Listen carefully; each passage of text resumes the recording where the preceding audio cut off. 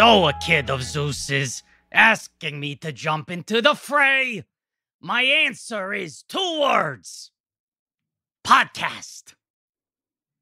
The two words podcast. Well, but the joke, David, you understand, is that in the song, it feels like he is winding up to say "new way," no way, Right. Right? He's got the arms. He's going no way, and then Zeus hits him with the lightning, and then he says okay, and it's a reversal. Okay is also not two words. Podcast Not is not really. two words. Right. Also, I just went through every other song in this movie, and they're either too hard to sing or too lyrically hard to put podcast into, or both. So I decided to do the one that Danny DeVito kind of quote Yeah, unquote y- y- sings. You, were drawn to DeVito. That's fair. Yeah, yeah, that's my vocal range is DeVito. Hey, kid.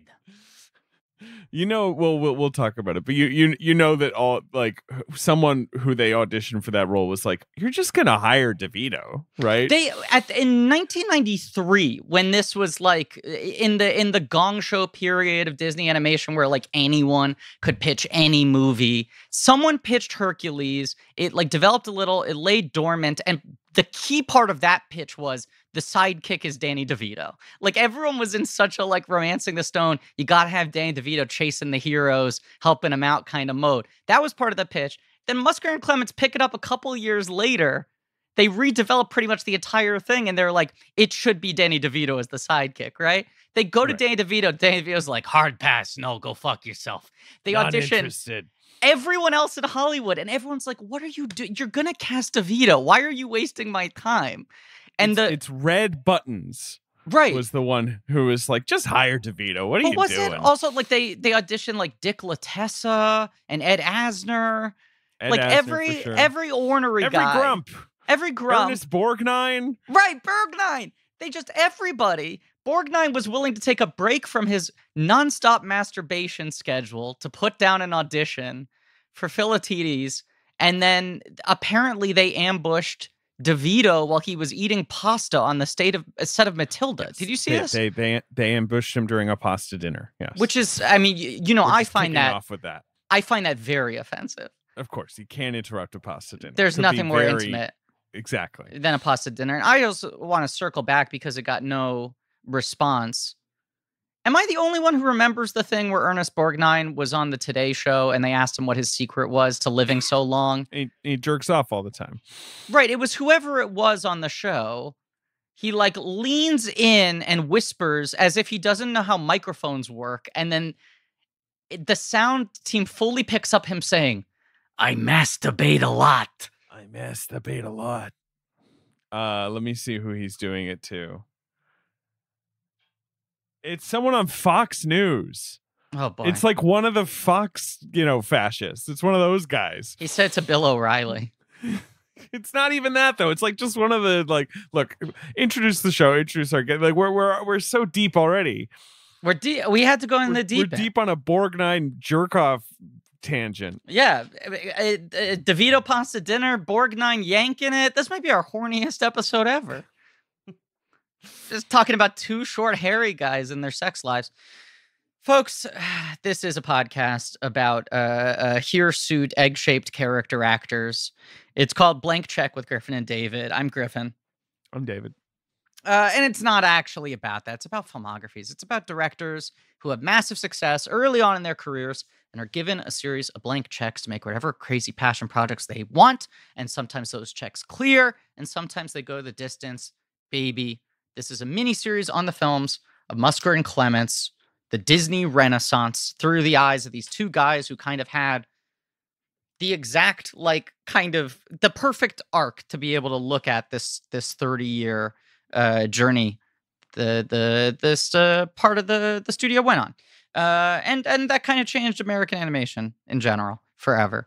Uh today we're talking 1997's hercules arguably their first bounce right I suppose so. I mean, uh, it did it did all right, but I suppose it it, it underwhelmed. i think this is a this Yeah. is a soft bounce and then treasure planet's a huge bounce Right. That's that's the big one.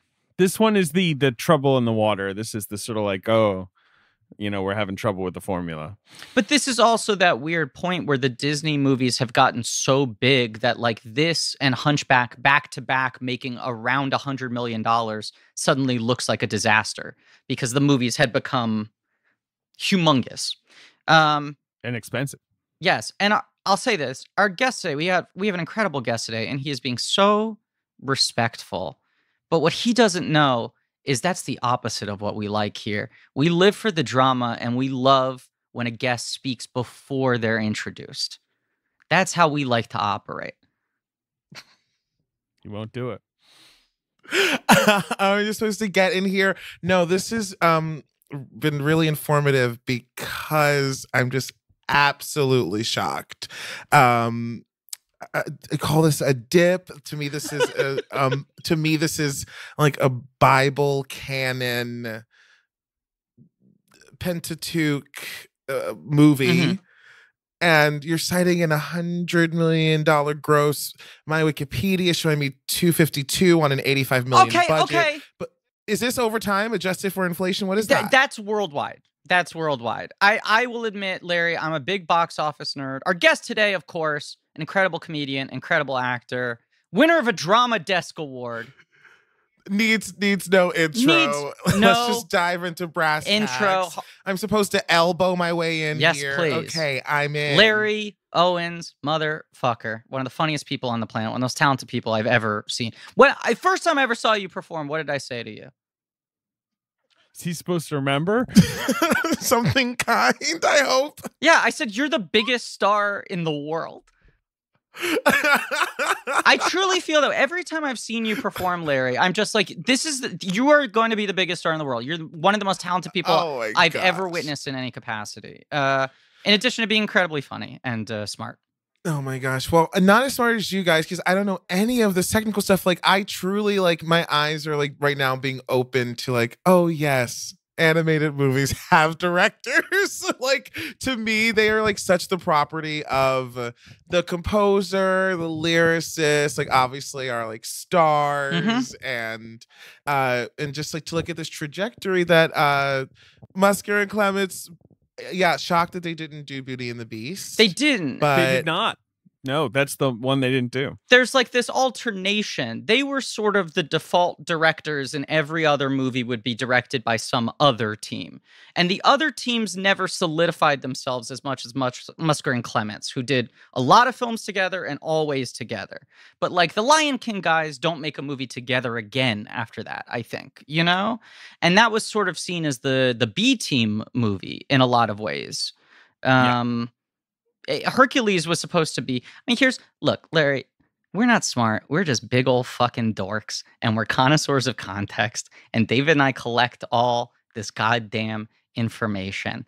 But the story we're kind of telling over the arc of uh, these movies, and to some degree, usually our show is a little more auteur based. But talk about Musker and Clements, we really are talking more about the auteurism of the Disney Renaissance and of Menken and Ashman, you know? And this is the first movie we're covering where Ashman is fully gone, where he's left no work behind. It's Menken uh, charting new path without him. Uh, and Ashman was very much a, a big kind of auteur figure in uh, uh, Aladdin and uh, Little Mermaid and Beauty and the Beast, which we did not cover. Um, yeah i yeah the howard ashman uh legacy is a huge it is like one of like maybe the only historical talking points which i have in regards to this Perfect. movie in that like I lament the passing of Howard Ashman, I guess marked, you know, significantly by this movie. Um, just in terms of like as like a musical theater like lover in the 20th, like born in the late 20th century. Because to me, that marriage of like humor, reference, and like pop sensibility, like it's like almost all of any you know disney score in the 20th century is a pastiche it's a pastiche score of like writing songs that sound like other things and then of course there is like the disney sound of like go the distance the sort of the like sweeping i want song and i feel like howard ashman just in terms of using that device and keeping it so earnest and unironic Yeah. like now everything is a comment on sort of that sensibility and I don't like it. But I feel like Howard Ashman had just the perfect amount of like understanding of grit and nuance and like honestly vaudevillian humor as well as like pop styling and like I don't know, this just like that like sensibility, modern sensibility. I, I couldn't agree more, and we've talked about it in some of the other episodes. But it's like Little Shop of Horrors is my favorite musical ever, uh, and and that's such a good example of something which, on its face, seems like a, a totally ironic uh, experiment. Yeah, he's adapting a crappy B movie. Right. And something like this shouldn't be a musical. No one cares about this movie.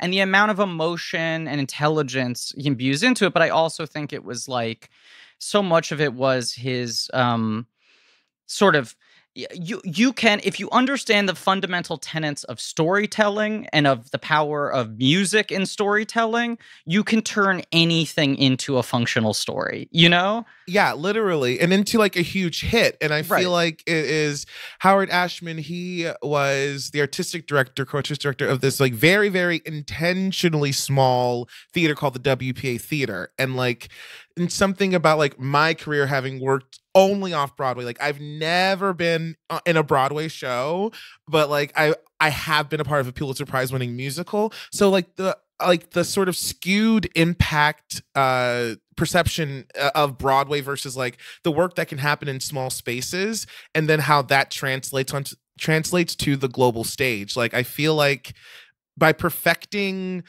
moments for like that few people a night, it totally informs the intimacy that comes across even in these big budget movies and i just feel like it's just such like in a fascinating sensibility and being another gay man from baltimore i feel like that there is like I know, something in the water and i'm like i want to be heir apparent Yeah. No, but I do. I think you have that uh, uh, sensibility in all the work I've seen you do. I mean, uh, for for folks who don't know and should educate themselves. I mean, you have such an interesting sort of like combination of influences in background in that you have like musical theater training but also kind of like hardcore theater steppenwolf training and then came to new york and sort of found yourself doing stand up but very much stand up on your own terms. And so you, you approach things from like a couple different minds equally and this movie is in a certain way at a cross section of a lot of those things and i feel like it It is. It is. I encountered this movie in Latin class. So I went to a nativity school, which is, means that it was um, all these like really smart little black boys, and our education was paid for by like nice, kind Catholics in the neighborhood.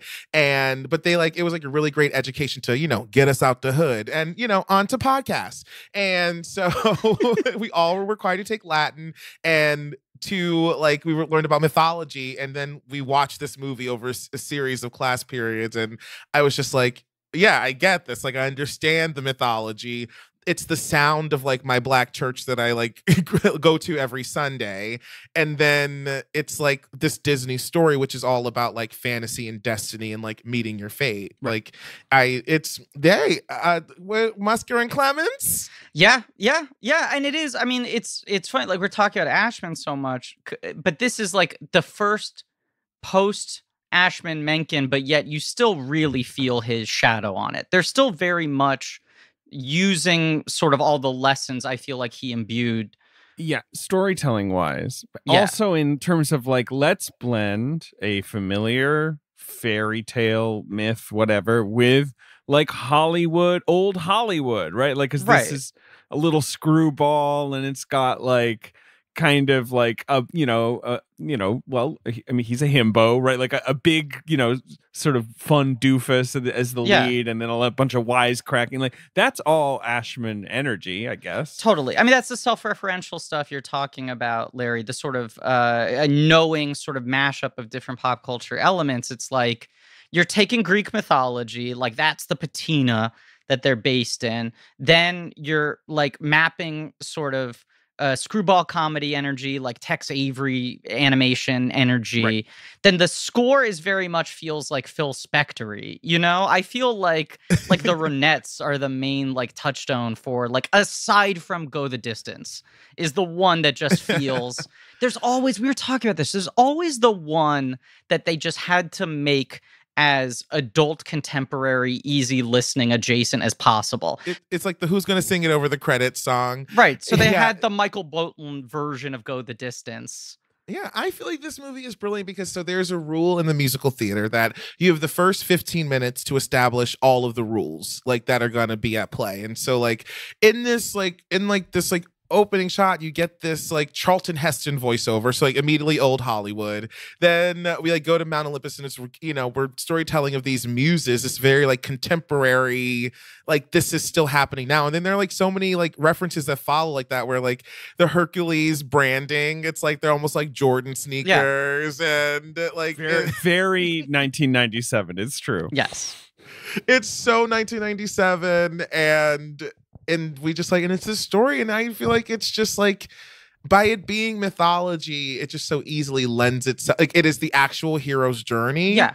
And that earnestness is captured as well in that in that first mo and like in that first 15 minutes of like, yeah, this is gonna be this type of ride. How do how do um yeah, I don't ask the questions. Ask No, forget. ask a What's your question. question? no, I just love Howard Ashman. I can keep talking about Howard Ashman.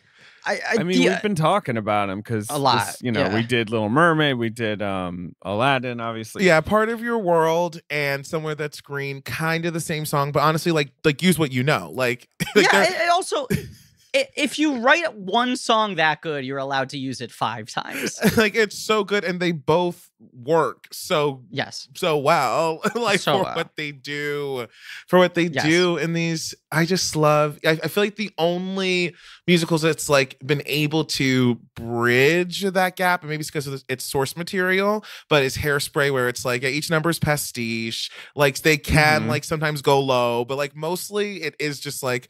Yeah, let this little fat girl dance. And so it's like, yeah, let this himbo like find his dad, find his parents. but also that weird balance of just like kitsch with with genuine feeling you know that doesn't just feel like it's in air quotes uh that's i mean that's the other part of the soup on this is like musker and clements weren't really musical guys or fairy tale guys right and then they make these two humongous disney musicals but the thing they wanted to do the entire time was treasure planet Right. Like, That's they the one right post Aladdin. They're like, now can we do Treasure Planet, the movie we've always Right. wanted to do? Because from the 80s, every time they got to make a movie, their first film is Great Mouse Detective. Every time when the studio's like, great job, what do you want to do next? They're like, Treasure Planet. We want to do fucking Treasure Island in space with no songs. It's not a comedy, it's a straight sci fi adventure movie. And every time they'd be like, that sounds too fucking weird. You have to do one more movie that we want you to do, and then you can do Treasure Planet. And they just kept like like Lucy Van Pelt lifting the football and never letting them make Treasure Planet. Do, so wait, do you want to know what? Much like last time with Aladdin, they picked between a bunch of projects. Do you want to know what the three were this time? Do you know? No, I just know. I mean, it's wild because Aladdin was so fucking big, the So biggest big. animated film ever, the biggest film of that year, and still they were like, you have to do one more commercial movie before you can make Treasure Planet. So then, right, they looked in the pile of all the stuff from the '90s. What what were the other two? Uh, well, were, Hercules wasn't any of them. First, the first, the Oh. three that they mulled were Don Quixote. Apparently, Disney had a Don Quixote lined up. Around the World in 80 Days and The Odyssey, which was their initial like thought, well, we'll do like a Greek mythology thing, which and then they realized that there was like a Hercules pitch that was simpler, and that's what they finally alighted on. They wanted to do yes. a superhero movie. They were like, okay, we can that that can be the Hercules pitch. I was gonna say that's the final element in the soup of this movie, which is they had been wanting to do like a, just a straight boys adventure movie, and so they saw this and they were like, "This is an opportunity to do Superman. We could do Superman as a screwball musical comedy influenced by Phil Spector Wall of Sound pop." He is he is definitely like heroic and uh, it follows like Yeah. uh, like oftentimes like the laws of that sort of genre. It's definitely not the dominant sort of like energy of the movie, I think. Um in a good way uh because the music i just i'm yeah i always come back to it but uh okay so first of all treasure island honestly sounds good uh, i want to know have you watched it and like does it like hold up in a secret way where it's like yeah it, it flopped but like We're doing that. I love what you- That's our next episode. It, it's Yeah. it's one of those things that has it has its cult for sure. There's a whole generation that saw that at the right age. That's like, no, that movie's good. So I'm hoping, yes, I'm hoping that we're gonna watch it and be like, oh yeah, this thing's great. uh, the treasure island for these two um uh elderly even at the time men like or like later like uh, that being just like there I, I i have to do this like honestly makes sense. And then also like chronologically like they're like space interest. And then probably like a little like their peak of uh, like this that's entertainment is probably like raiders of the lost ark or like indiana jones. Like Yeah. that's where their heart lies. And this is literally like matinee fluff to them. I get it. I understand their psyche i guess Yes, I think I w- I wouldn't say like I think they care about all the movies they made, but it was one of those things where it's like if we could make anything, if if we had the blank check as as the premise of this podcast proposes, right? They were like this is the thing we'd most want to see. you just said the title of the play inside of the play i love that Uh, Thank you. Uh hi hi uh folks. This is Griffin from the the future. Or I should say from the present, but from after we recorded the episode. Um I'm embarrassed. I try to avoid doing this, but obviously I I made some grievous errors at the time of this record that I feel the need to jump in and sort of correct and explain uh now. And and you know, I think it's a slippery slope making apologies uh, like this at a certain point it's like are you going to apologize for everything you say on air you know it's podcasting it's you know it's a jazzy medium you know we're we're speaking off the hip but i i am sort of i've been uh reeling from my ignorance really in not acknowledging that as the world becomes increasingly uncomfortable we're all looking for as much comfort as we can get. And the one thing that i, I know that i and, and probably many others can always count on is how comfortable my purple mattress is. And you know i don't want to mince words here. I want to be as direct as possible that is because purple is comfort reinvented and only purple has the grid quote unquote a stretchy gel material that's amazingly supportive for your back and legs while cushioning your shoulders neck and hips. I, I don't know how it does it. I really don't. It's just fantastic. But i'd be remiss if i didn't mention that because of how it's designed the grid doesn't trap air. Air actually circulates and flows through it so that you'll never ever overheat and the grid bounces back as you move and and shift unlike memory foam which it remembers everything. Memory memory foam never forgets. You know and that's why memory foam has craters and divots and to some degree i would argue that memory foam itself is cancel culture run amok. Look i just want to say purple it's fun it's comfortable of course I, i've i've listed all the sort of uh, lifestyle benefits of it but it's also fun because it's purple. It's purple and it looks like it's something from space. It's got unique grid technology which is fun to say. It's probably the funniest mattress you can get and the good kind of funny. You're laughing with it. Look i just i don't want to belabor this point. I just want to say this is a chance for me to step back and listen for once and also tell my listeners that right now you can try your purple mattress risk free with free shipping and returns. Uh, financing is available too. So uh, you know eh, just to circle back the main point here is purple really is comfort for an uncomfortable world uh, and for you know sometimes uncomfortable apologies you have to make. Right now, you will get 10% off any order of $200 or more. Go to purple.com slash check 10 and use promo code check 10. That's purple.com slash check 10. Promo code check 10 for 10% off any order of $200 or more. There are two check 10s. It's both in the URL and in the promo code. You have to just do it twice just to be sure. You don't want to make the same mistakes that I've made in my life. Purple.com slash check 10, promo code check 10. Terms apply. Back to the episode. I mean, the superhero stuff comes into play, and Superman in particular. I think if you look at the changes they make to the Hercules myth itself, right? Where he's he's essentially this abandoned orphan from another world, Right. rather than the product of a god uh seducing. Oh, he's both. He's a product of a god, and through a series of uh um, you know, godlike events, he is believed to be an orphan.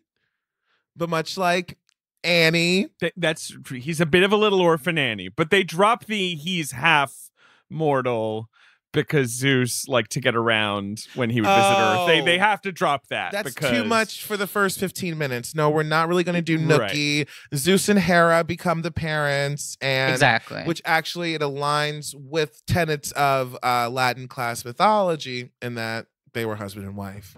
Yes, right. I mean, I they don't want to have to show Zeus uh, uh, using trickery to fuck a woman on Earth in the first fifteen minutes. It's Let's also just like the song you have to write about that.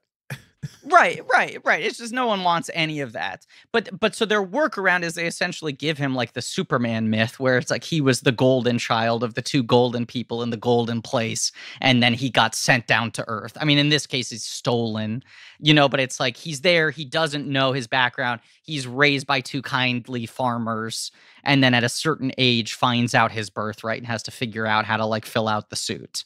So I feel like that's that's the superhero side of it and that that there's that 30 minute chunk of the movie that feels like it's really following that kind of superman the movie arc and then once meg comes in i feel like it fully just loses to that energy which i think is the right decision a far better energy. The Yes. Meg is the because Musker, I think it's Musker. Yeah, I have this interview. Musker's like, right. We wanted to do this screwball thing where Hercules is Jimmy Stewart, right? He's like the Right. the lovable, doe doe-eyed idealist, and Meg is like Barbara Stanwyck in the Lady Eve or whatever, right? Like Meg is Yes. Meg is the the prickly. they feel so much i mean have you seen lady eve larry No. one of the it. greatest comedies of all time. Put it on the playlist right after Treasure Planet. But uh, I, I feel like the Henry Fonda Barbara Stanwyck dynamic is almost identical to this, where it's like incredibly powerful, privileged man who's sort of oblivious and easily duped, and the very worldly, wise, uh, fast talking dame. Yeah, and honestly, it was refreshing to see. I loved the um, subversion of trope here. I think something that made me lean in. Powerful feminine energy, uh, man is dunce. It was all reading to me is honestly very true to life, and I think uh, one of the reasons why, you know, we have we have a bunch of women. We uh, we have curvy black women. We have Meg, and you know, very much like you will never. Like I like love is Yeah. like the last thing and she's honestly nefarious. She's she's a little she's a little twisted, or I don't know. Is she a prisoner of war or something? I don't like. What is that? It, it's she, her boyfriend died. She made a deal with Hades to bring him back to life, and then the boyfriend ended up leaving her anyway. it's Okay, sort of giving similar. A little of that. Uh, what's her name? Uh, Eurip, not your Eurippy. What's her name? Uh, it's in Hadestown. Who does she play? Oh yes. Oh, yes. yes. Eurydice. Yes. yeah, yes, Yes. Eurydice. absolutely. Yeah, I was like Euripides. Absolutely. No, bitch, it's Eurydice. And then his name. Who does she turn in the pomegranates? Who does she turn around for? Or or Odys? No, Orpheus. Well, or, yes. Orpheus is the one who wants to get her back. Obviously, Hadestown, incredible. It, it was thinking a lot about Hadestown watching this. You were. Well, just another Hades, a different Ha- like because the Hades Different. in Hercules, he's this. We'll talk about James Woods, but you know he's he's like a Hollywood agent, right? He's like chatty and he's jokey and he's kind of cynical. And then the Hades, I was thinking about you know the Hades of I was thinking about Patrick Page. Oh yeah, Patrick Page in Uh, Hadestown is not. Either you're like. it's like, I don't know if Patrick Page is giving old Hollywood. No, just Jimmy Woods is giving. Yeah, fast talking, neurotic. Yes. Very neurotic, literally cigar smoking. Did you see Larry the the public theater production of Disney Hercules a couple years ago? No. I was very curious about that. And it seemed like that was probably like it felt like, oh, this must be a prelude. They're trying it out before they try to bring it to Broadway. It And then there was- yeah. Never any talk of that. I mean, like that production got such good reviews, and then there never seemed to be any movement on bringing that thing to Broadway. And the cast was so good. I know Jelani Alladin as Hercules. This is what we want to see. Krysta Rodriguez is Meg, fucking Yes. slam dunk. Textbook Meg. Roger Bart moving from singing voice of young Hercules to Hades. That's a great Easter egg. It, that was fun. That was fun. But the last, the last bit of chat about that was um, it, la- this summer. Menken said, "No, it'll happen. It'll go to Broadway. Okay. Like we have an adaptation ready whenever there is a Broadway again. So, Yeah. so hopefully that will happen. To me, that is indication of like this movie being like beloved and a hit. Like Disney movies don't get traction unless they have that built-in audience. And and and just the generation comes of age like right like the kids who saw this movie are now ticket buying grown-ups i don't know I, I think there's another factor here. I mean, I, I need to do a little bit of uh, uh, not mea culpa, but but sort of like addressing. I, I in a recent episode said that this movie was my favorite movie of all time when it came out, and that I don't even like it anymore. That I had Oh. rewatched it some years back and was pretty nonplussed about it. wow And I rewatched it today for this, and I don't know what the fuck was wrong with me the last time I watched this movie. But but like Toy Story was my big fucking movie for like f- four years. All I talked about was Toy Story. My parents take me to see Hercules. I turn to them afterwards and I go, "It's a tie. Hercules is tied. It's I the know, only it's so movie I've seen that's as good as Toy Story." And then like. Toy Story 2 comes out a couple years later. That usurps it. Hercules sort of falls off from the brain. I had rewatched it a lot, like 97, 98, 99, but then I don't see it for a while. And I feel like I watched it very drunk on Netflix like five years ago. I And think it was like- a thing. mad at hercules you weren't into it I think part of it was uh, uh, that I was like watching a movie I hadn't seen for almost 20 years and remembered as being my favorite movie and I burned it with unrealistic expectations uh, much like the phenomenon that happens when uh, adult men see uh, Star Wars movies and get angry that they don't make them feel like a 6-year-old anymore. Yeah. Uh, one of our great ills of society. Uh, I, I was able to apply the perspective this time watching Hercules that I always try to apply when I see a new Star Wars movie, which is uh, this movie will not make me forget that the world is bad uh, because I know too much now. Uh, th- the other part of it is, I think when I get drunk, I have a very hard time watching movies that are fast. I become very aware of like edits and rhythms, and this movie is so frantically paced. It is just like the entire movie has genie energy. it's quick, quick, quick, quick, quick. very quick There's okay, so we have uh we have our lead. Then we have five narrators, five five narrators who sing on pitch and in harmony. Yeah, a literal Greek Then chorus. We had Charlton Heston, never to be heard of until the end of the movie. Then he has a nemesis. His nemesis has two henchmen. Then he. Then he gets a, a, a love interest, or just a, a woman enters, and then he gets a coach, and his Yeah. parents, and then adoptive parents. So there's four parents.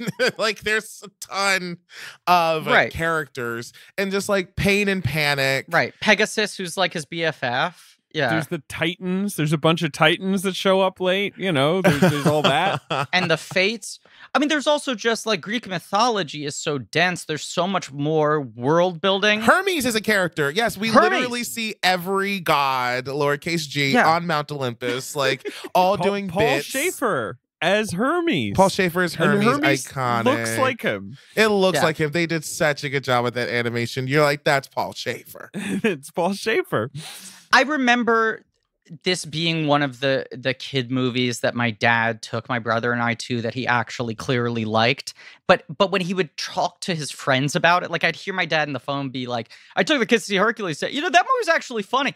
And the only thing he would cite is Paul Shaffer's in it, and he just like looks like Paul Shaffer. My dad just couldn't get over Paul Shaffer being in the movie. He thought it was the so funniest good. fucking thing in the world. But he's just like, it's like Hermes, but it's Paul Shaffer, and he's just agreeing with everything. It's so good. Good. It's the type of like cameo that I don't think will ever have the impact again just because of how overexposed celebrity is. That like there is Yeah. no like you're in my home every day, but then I go to the like you're a TV star now you're in a movie.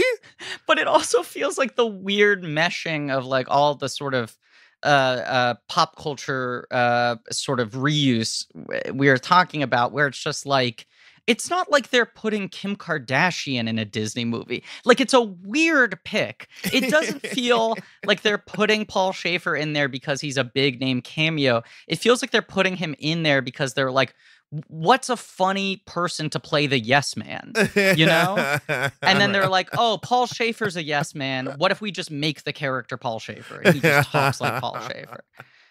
Uh, it's so bizarre. But yeah, I mean, it's it's just like this movie is uh, uh so much my sensibility in so many ways. It got kind of mixed response from critics. It got like it did okay at the box office, Di- but I Disney feel fatigue. People were just Yes. getting a little tired of every year. You know, the big. The, it, I, it's that's what it was. I think that's a huge part of it. I think the marketing for this movie was fucking relentless. They also Mm. pinned a lot of like they A lot of toys. Yeah. a lot of toys, a lot of everything. Like the every Disney store was changed into a Hercules store. Do you remember all this New York shit that they did? Like they they did some fucking Central Park thing and they took over all of Chelsea Piers and made it a Coliseum. And then they had a Hercules parade. And when the movie opened, it was only playing at the New Amsterdam Theater for the first week. They did like the limited run thing. That's where I saw it. It was Disney had just bought the New Amsterdam. Lion King hadn't opened yet. So they had Hercules play there as a movie for two weeks. And it was just like, particularly in New York, the, the Hercules shit was relentless. And I think Katzenberg was more and more trying to push Disney away from girl princess stuff because they wanted to get the boys on board. And they sort of, in the process, might have alienated some of their eh, it- like dyed in the wool audience. But I think the reason why its reputation is so much better now, Larry, is I feel like this is kind of the favorite Disney movie of a lot of people who work in the media from our generation now. You know, I, I think because of its weird sense of humor. I think so. There is this phrase, it comes from a musical. Yes, it's called, it says, I'd rather be nine people's favorite thing than a hundred people's ninth favorite thing. It's Right. definitely that energy. Right. Yes. And it's like unapologetically, like, yeah, like about like a, a Disney movie about a male like superhero in a way that I guess Aladdin kind of was, but I don't know. Hercules, I don't know. It just has a different edge. It's a little bit edgier. Yeah. It's about getting famous. It's about weird things for a Disney movie. its specificity is what makes it charming and i think Yeah. that like i think that if meg were the center of the movie she would not be allowed to be as complex she would have to be flattened to the like disney standard and Yeah. so yeah i like you know musker and clements paying their penance to okay bars musker and clements paying their penance yes bars uh um I, I I feel like the like confidence and like sort of like later career nature of like some of these like really bold choices for Disney like for me makes it makes it yeah you're right makes it a standout Yeah. for me. It it represents like some sort of like departure maybe it's the Ashman thing but like it does feel like it, it feels separate than Aladdin and Yes. Mermaid. It's also like you know, like Jafar and Aladdin and Jasmine are pretty straight characters. You know, it's like Aladdin has that division of like here are the comic relief characters, here are the heroic and villainous characters, you know? And this is a movie in which every character is comedic. The whole thing is just top to bottom comedy energy. You also have a very different visual style. Like it feels like they're really I mean they're obviously trying to like incorporate uh, you know, Greek art and all of that, but it just has very different sort of shapes in it and a different kind of score and like different action sequences. Like the Hydra sequence is very different than any action sequence in like Aladdin, partially just Yeah. because of technological advancements and budget. Yeah. I don't like We're- the Hydra sequence. I love it. I think it say? You love it? You think it rules? Yeah. It's so it's sort of video gamey. I I It's like that it's sort of video gamey. I just think it's it's cool. It's like uh it's got such a different uh vibe and it's also they just like were able to at this point pull off like camera moves and shit which they could barely do in aladdin. Everything's so kind of locked down because stiffy stiffy. This doesn't feel stiffy stiffy. This feels new modern. It feels closer to 2000 than it does to 1990 This is true. it Yes. just like all of it feels a lot, lot closer to just like we're going somewhere different. Like even the pace like probably like nickelodeon is just like such a machine now. And like disney channels like they're starting to which is like disney channel uh, television is just borscht belt vaudeville. Like these kids like they sell a punchline uh, a three stack build. Like they sell it to the balcony on television and they like do a hundred scripts. Like it is truly like little rascals type Yes. training for an actor and tonally. Like if you talk to a kid like between the ages of like 8 and 11 their personality is actually wisecracking sidekick. Like they very much have like why i oughta like they like a kid will say that so then you're like who taught you that? And it's like it's fucking miley cyrus. Like right. It's also like So- i mean you you look at so it's aladdin right? And then am i forgetting one? No. Yeah it's the three you- disney you mean? The three other disney animated films that happen between aladdin and hercules between the two musker clements are lion king not in order are uh, lion king pocahontas and uh, hunchback of notre dame That's in order. well, so you know what? I got it right by accident.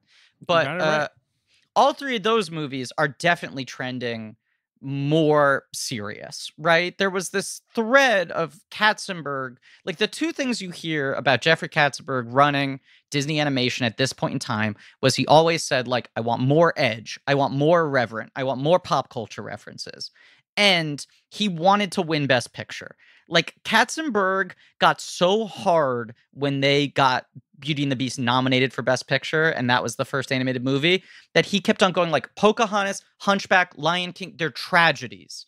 They're like big tragedies. Po- Pocahontas, especially. I think he, for whatever reason, thought that was going to have the right mix of like prestige and class and star power, with, Epic like, romance, Gibson and right. shit. Yeah. history Right. It's gonna like be Beauty and the Beast, but leveled up. We've got more money. We've got more time to do it. Like, and then Pocahontas is, uh, I think, you know, uh, it's a little snoozy. I, you know, there's things that are it, fun about it. I, you know, I kind of like how it looks. I don't know how you guys feel about Pocahontas. I don't want to come too hard. It's never been a I, favorite. I, I like Pocahontas a lot. It's an imbalanced, imperfect movie, but I like it a lot. What is that a stephen schwartz score on that it's a It steven is. It's a. It, it's well, no, it's Menken, but wait, uh, it's Menken and Schwartz. Yes, Schwartz. Schwartz- Megan and Schwartz Schwartz is- working together on Pocahontas. I mean, well, the story is gonna be tragic because that's just what she wrote.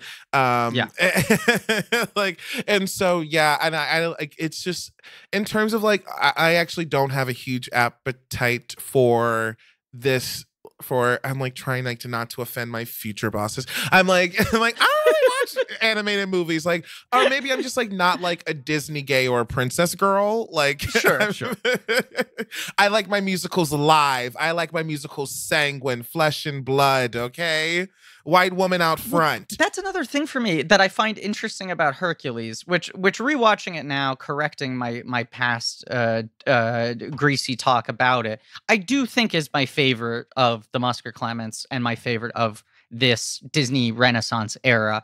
Uh, it's just so my sensibility, but um, I I feel like a it's the one that has live musical theater energy. Something about the relentlessness of it and the kinetic energy of this movie and how fast it moves really feels more like a staged musical than an animated musical film. Um, and I also think that, like, the th- those films right they picked more tragic source material right? But they also i think were going for that sort of prestige. They wanted seriousness in the eyes of hollywood at large. And this movie is like owning being a cartoon not owning being a Disney movie, is owning being like a fucking Bugs Bunny cartoon to a certain it degree. has it has Bugs Bunny energy. I don't know where this is, how the related this is to uh, Space Jam, but I don't know something about it feels hand in hand. Same year Well, as they're- Space they're Jam. A year, a year apart? No, not same year, right? Space Jam's 96. You're Yeah, right. A year apart, Yeah. I think. And and and you know the whole section of him of Hercules being merchandise. You know that's obviously Michael Jordan satire, right? Like all the the the, the big gulps and the, all that stuff. Air Herc. Um, exactly, Air Herc. exactly. But but I. I, I mean I can't agree with you Griffin but uh, we but we have to talk about David Zippel then we have to you know this is this is the guy coming in to replace Ashman as the lyricist here uh with working with Menken what do we have strong opinions on David Zippel Larry do you care about David Zippel I- have a I have a personal connection to David Zippel. David Zippel You is do? a friend, very Okay. very sweet, charming person. this is perfect let's talk about it then because I don't know him well Fan- fantastic lyricist. I uh Davis credits Goodbye Girl on Broadway, Bernadette Peters vehicle. Uh and which is I- that's with Hamlisch right that's Marvin Hamlisch I think Yes, Marvin music? Yes, Hamlisch yes. and then City of Angels. I believe he's the lyricist of that. So these just like really, really like stalwart, like show business, uh, like like shows. And so I feel like sort of like that show business edge uh comes into play here. And I find that like the lyrics, like they're so like I feel like it is definitely completely hand in hand with like understanding the assignment of like Howard Ashman did this really well. Like things are conversational, they're breezy, it's contemporary vernacular, but with always the reach to pull from anything in history and assume that our audience knows what this is. So it's an intelligent but innocent listener. And so I feel like that carries through in terms of like the voice of the show. And he has a lot of fun with like, and this perfect package packed a pair of pretty pecs. Like he's having fun, he's showing Yeah. his pen. it, it feels like cabaret right like it, it's it's it's clever it's it's like it's yeah, like, it's like meant to be listened to and understood in a way that like Yeah. a musical theater lyric is distinct in that way. Like a pop lyric, the chorus has to be pronounced, but like you really don't know what Ariana Grande is singing, and like you Right. prefer it because she's literally like, oh no, that's Selena Gomez. Uh, you got me walking side to side. To me, one of the like. A, a more lewd song than WAP because she's literally like, I got rocked and now I can't walk correctly. yeah. This is yeah. Selena Gomez, Disney star. You got me walking side to side. and so you don't know that that's what the song's about because you can't Right. hear the lyrics. But David Zippel's lyrics are, now I have to shout out my Beltresses, the vocalists, the ladies, multiple Tony Award winners in this group of singers playing the muses. We have as Calliope Lillias White. We have as Turpus. I don't even know. I can't really do it. It's uh, it's Lillias White, Roz Ryan, Cheryl Freeman, LaChanze. And I think there's one other female vocalist, Vanessa Thomas. Vanessa Thomas, who like I like I don't know what her stage career is, but the uh the four women that I mentioned just like like so indelible to the like growth and life of Broadway, the roles that they played between them, uh, and just just as a group, like as like a girl group, the energy that they infuse into the score and the like amount of storytelling that they truly cover as Yeah. these direct to camera narrators and also just like the style that they bring like they dance like they're gorgeous like they represent this like very very fierce modern sensibility of the show and this tearing down of like the literal fourth wall and also the Yeah. energetic fourth wall of like we're having fun like like this isn't this isn't beauty and the Right. beast we actually like actually one of the easter eggs visual easter eggs uh i think like scar or mufasa's in the clouds Yes, it's Scar. No, no. Scar is when Hercules is posing for his painting. He's wearing Scar as a pelt, as a pelt a skinned Scar. Yeah. No, it's. I mean, uh, No. you can hear the pen is a great phrase, Larry, which I'm going to use all the time oh, now. in a good in a good way. I mean, lyrics. sometimes it's a bad thing. but here in a really positive way. Yeah. What were you going to say, David? Sorry. A bunch of things. One, I agree with you, Larry, that yes, the muses they're setting the temperature of the movie, which is what you need. Like, right, like that. It's here we're having this is this is going to be silly. It's going to be referential. It's not going to be disposable. like this Right. is fun but like you know they, you know and i love the look of them but i wanted to ask you if you knew who the first choice to play the muses was it's, a- it's uh a very 1997 choice TLC. the spice girls they Oh, wanted wow. the spice girls Oh which my is gosh. why there are five muses why they are why they Wow. are a five a five person act um and i i have no idea they, they declined whatever they Yeah. you know it's the it's the height of the spice girl Yeah, there it's a uh, busy. I mean, honestly, it's a lot of development. Like to like Yes. they like the involvement. Um, there's like some really great like making of, and you just I just love to listen to Lillias White who sings like the lead muse. I just love to listen to her stories of making it and how they like you know consulted them about their design and like Lillias is uh she's like Zoftig and curvy, but she Yeah. you know requested to be a slender muse. Like her her muse does not resemble her. Roz Ryan, who is like the shorter, more curvaceous muse, like it that is very Roz Ryan energy. Uh and and just yeah, uh, I love it when they dance like they like the movement for the muses, if recreated on the human body, so would good. be Yes. impossible. And it's just so fun. It's the same with how Meg is animated. I was gonna say, too. the Meg's way, the way they- silhouette yeah, it makes zero sense. I mean, it's just like every, I I love the weird angularness of the designs for these characters because I They feel look like, they're on a vase. That's what I Right. love about it. Yeah. Vaz.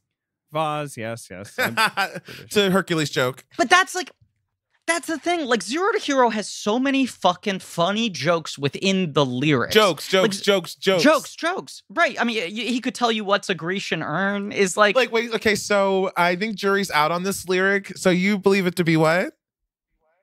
he could tell you what's a Grecian And then sometimes And I, I- hear he could tell you what the Grecians earned.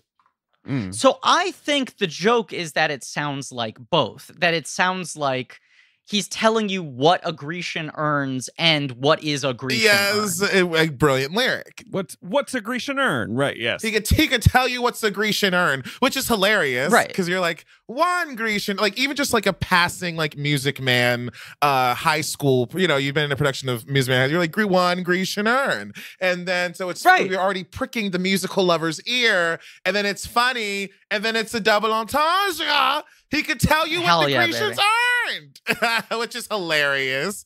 And the literal pitches that she's singing on, it's just like so perfectly placed in the power part of her voice. Wait, now I'm David Zippel. Hey, hey.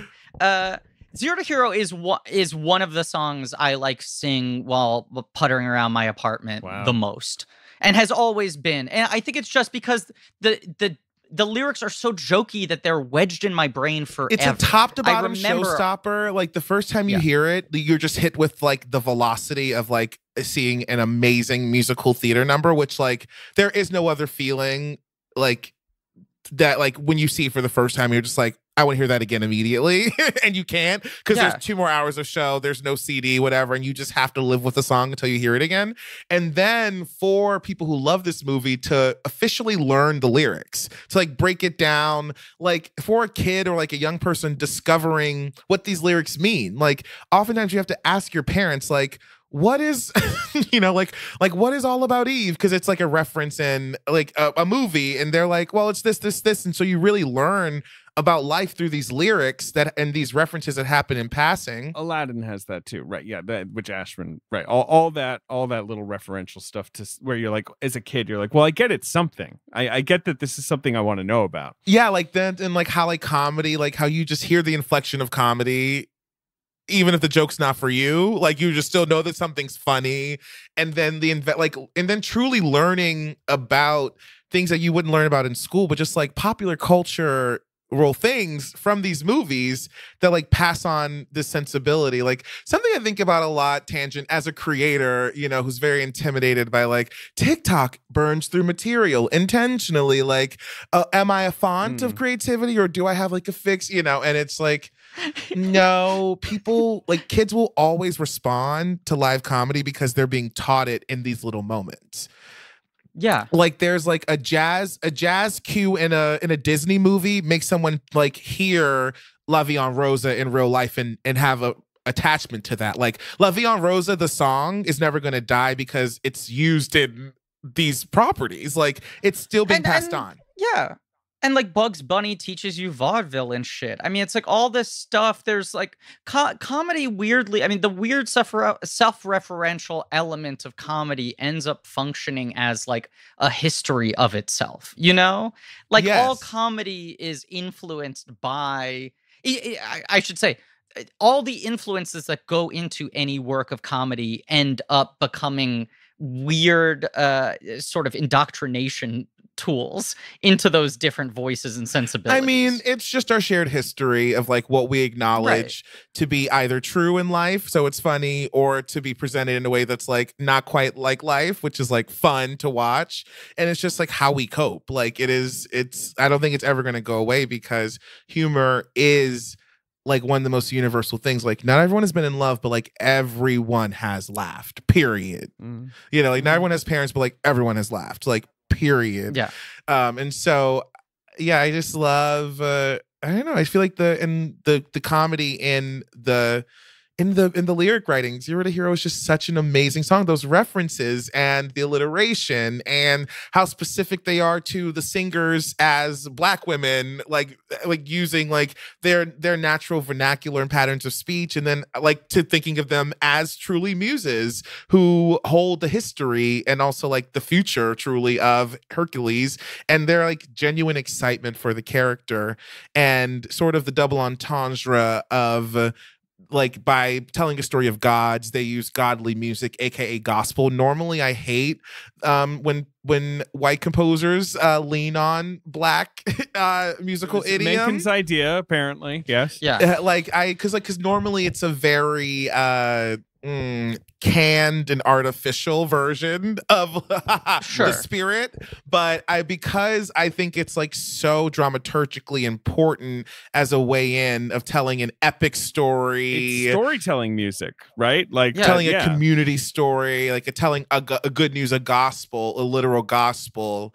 Uh, in terms of that framework, it allows the music to blossom and then to keep like subverting that and, and, and playing with like the contract of five female singers. For like, I won't say I'm in love, just becomes you know like probably the most Ronettes, So Phil. Spector of the references for me.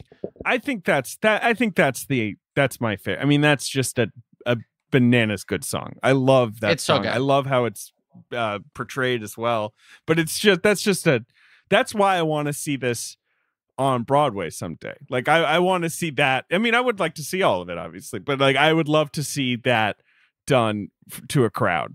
Yeah, just like an honest moment. Like when you when you're excited for an adaptation so you can like so that you can see someone just like deliver a killer song in front of an audience, which is all that theater is versus like I want to see how they do the um what are they called? The Hydra. the Hydra. fucking It's whatever. like the it's Titans. gonna be yeah. there was gonna be um some some fabric and some lights, honey. like yeah, who gives a shit? You want to you want to see fucking Krysta Rodriguez sing that shit with emotion. Yes, That's the special with the effect. girlies, with the girlies singing, and you want to hear her check Yeah. the grin, you're in love. It's like no, not clean. See, they, they're going to be clean vocals.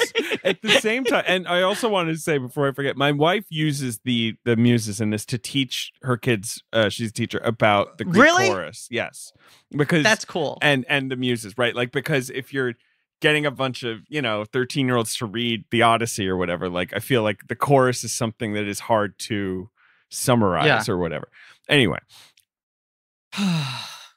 okay, I'm dreading this. Um, just gotta do it. I just gotta say it, folks. This is Griffin from the future or the present again, um, with another addendum to this Hercules episode. Um, you know, I I benefit from multiple forms of of privilege in my life, both systemic and um, you know, uh, uh, I don't know, circumstantial, specific. And sometimes that uh, blindsides me, I would say, from you know realities of the world. I I just I'm I'm it's just it's ignorance. It's ignorance. I'm not saying that as an apology as an excuse. I'm just saying it as an explanation. I am trying to apologize here. I'm I'm trying to express real contrition because I forgot to mention that with HelloFresh you get fresh pre-measured ingredients and mouth-watering seasonal recipes delivered right to your door. And I just feel so bad about it, you know, that I just wasn't even thinking about the fact that HelloFresh lets you skip those trips to the grocery store and makes home cooking fun, easy, and affordable. That's why it's America's number one meal kit. Look, to a certain degree, I think the damage is done. And I'm trying to figure out how I can best start the healing for others. And for me, it just feels like eh, I need to address a minimum of two bullet points. I would say, for one, HelloFresh cuts out stressful meal planning and grocery store trips so that you can enjoy cooking and get dinner on the table in about 30 minutes or less. And secondly, I would say that HelloFresh offers 25 plus recipes each week featuring a range of flavors, cuisines, and ingredients so you'll never get bored. And in fact, you know what? I'm not going to, I'm no longer going to let myself get by in doing the bare minimum. I'm going to address three bullet points. Eating healthier has never been easier with low cal, carb smart, vegetarian, and pescatarian options every week. And no matter what you choose, every single recipe is packed with fresh produce sourced directly from farmers. So, you know, in the name of radical transparency, I will just say, uh, you know, as a person who lives alone, uh, HelloFresh is um, godsend. Uh, you know, let's just say that uh, no one in my apartment is good at cooking because I live alone. So anything that gives me a leg up on that process is is much appreciated. Uh, you know, don't have to go out to the grocery store. Don't have to be a analysis paralysis of, of oh too many recipes online. No, they're just sending me the box with the recipe. I know what to make. I stay home. It's nice. I also I would be remiss if I didn't mention that Green Chef is now owned by HelloFresh, and with a wider array of meal plans to choose from, there's something for everyone. I personally love switching between the brands, but you know, I, I I don't mean to project that onto others. I know everyone's experience is different, but my listeners can enjoy both brands at a discount with me if they want to. Folks, I don't want to mince words here. The the thing I'm about to say next absolutely must be read verbatim. Go to HelloFresh.com slash blank check 10 and use code blank check 10 for 10 free meals, including free shipping. I implore, implore you all to do this and in the process avoid my mistakes. Uh, once again, that's HelloFresh.com slash blank check 10. Use code blank check 10 for 10 free months, including free shipping. It's HelloFresh. America's number one meal kit. Now back to the show. I just want to say because you guys are talking so lovingly about this. Griff, you're saying you're singing Zero to Hero, and I feel like you maybe like I this was, movie less. Yeah. No, I don't know. I like the movie a lot. Every time I watch, I've but the things I've seen this movie like three times in my life, and I don't know why it was never in my rotation. Except maybe I was just like a year or two too old for it. You know, like I was 11 when it came out. You're kind of starting to, you know, write like not just watch Disney movies anymore, right? You know what I mean? And like maybe that's the difference. Like I feel like Hunchback was the last Disney movie that I remember being like pumped to see in the theater. And I remember seeing Hercules and like being like, oh, that was fun, and like never thinking about it again. And because it was light, it wasn't trauma. You were like, hold on, I'm not attached like literally to the trauma. It was too light for you. You're like, I see, I want to also. I just want to say, it- I was like someone who was a 12, so I think I aged out. But I also was just like, this is like homework. Yeah. oh, you just didn't Because like it was, like, you, you, you saw was the like, ancient setting and you were like, no. Nah, I'm not. That's the stuff I try to not do at Ugh. like at school. I've, Uh, I've heard of Hercules. funny, He's like- some old guy. yeah, it's like I, it's a book or something. Is, is this It- the exact? Is this the exact same year that Hercules: The Legendary Journeys? The, the, the? Kevin Sorbo show? yes, my background Yes, I- right now. well, you have a background. Your background, I believe, is just of Kevin Sorbo, the man. It's just Sorbo being intense, serving Uh, looks. That yeah. that show began in 1995, so it's already been running for a couple of years. Yeah.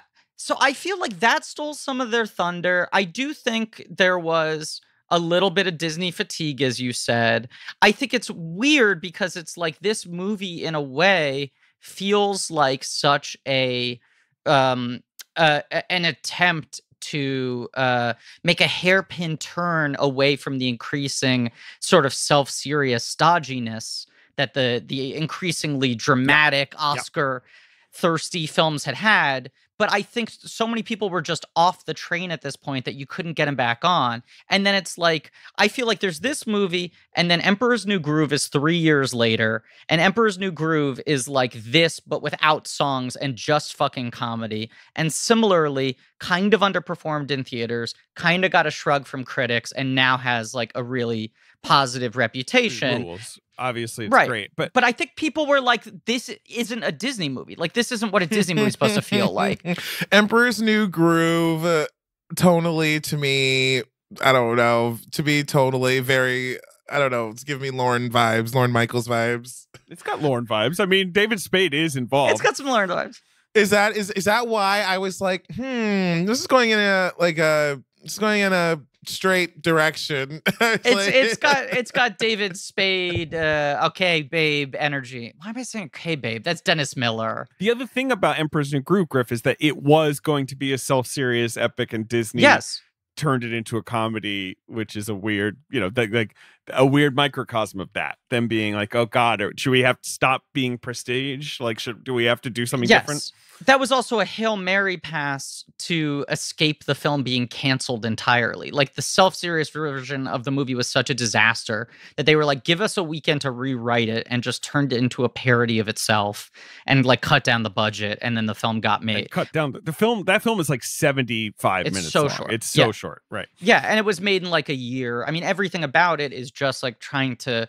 I I think it's you have Hercules, then you have like uh, I know it's not Mulan. straight away, but you have Mulan Mulan, and next. and Tarzan, which Tarzan. zag back in the other direction and are bigger Tarzan hits. is like Hercules, but not funny. Like Right. it's also a superhero story about a himbo, but then I don't remember it being funny. Like it, it just forgot to be I think it kind of sucks, and the Phil Collins music blows. Uh, but it was a huge hit, and then after that, it's like. Emperor's New Groove, they're just doing fucking comedy. It's not even a musical. And then they do the back to back Atlantis Treasure Planet. Atlant- I was wondering when Atlantis came into Yeah. all of this because Atlantis- tonally, you gotta go to Atlantis. You gotta go. They do two back to back, like sci fi boy Hell yeah. Adventure films with no songs, and both of them bomb so hard. And Treasure Planet is the one where they're like, we're canceling all future plans. No more hand drawn movies. Uh, but also worth noting, of course, that like Katzenberg is over at DreamWorks at this point, spooling up like Prince of Egypt. Like he's like, well, I'm still gonna make you know these like big self-serious musical epics. Yeah. Uh, over here, he does uh, Road to El Dorado, right? Like he's trying to sort of keep the Disney thing alive and failing, I guess. Sinbad. Sinbad. And then it's like Shrek is like sort of the like accident off to the side that ends up fucking Right. everything up. But this movie, I mean, Katzenberg must have started on this and then gone over to DreamWorks Yeah. during the development of this, Yeah, right? I believe, yeah, because you know the, this thing they started whatever working on it in '93.